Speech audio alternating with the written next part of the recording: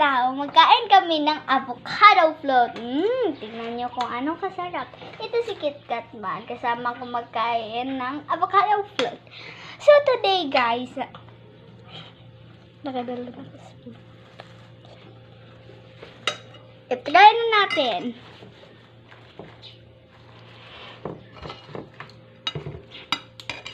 Okay guys, kung gusto niyo ng mango float, I mean, the avocado float, dapat may comments down below. Oh, gusto niyo? Mmm, sarap na.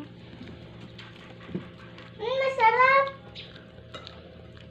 Mmm. May comments dapat dito na video, okay? So, bye-bye.